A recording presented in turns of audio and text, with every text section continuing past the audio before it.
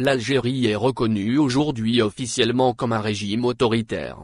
L'économiste Intelligence Unite vient de publier son rapport 2020 sur la démocratie dans le monde.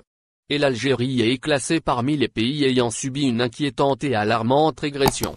L'Algérie est, désormais, officiellement classée dans la catégorie des pays dirigés par un régime autoritaire, la pire catégorie des pays épinglés pour la dictature de leurs dirigeants et l'absence des libertés publiques pour la population locale.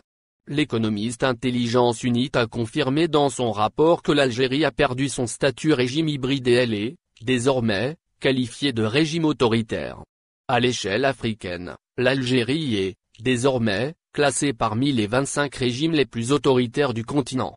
Cette régression témoigne de l'ampleur de la dégradation des libertés publiques en Algérie et du renforcement de la répression politique par le régime algérien.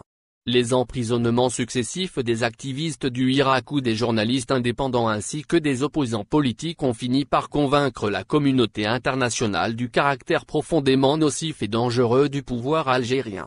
Un pouvoir qui assume, désormais, le verrouillage du champ politique et les restrictions sévères imposées aux libertés individuelles et publiques.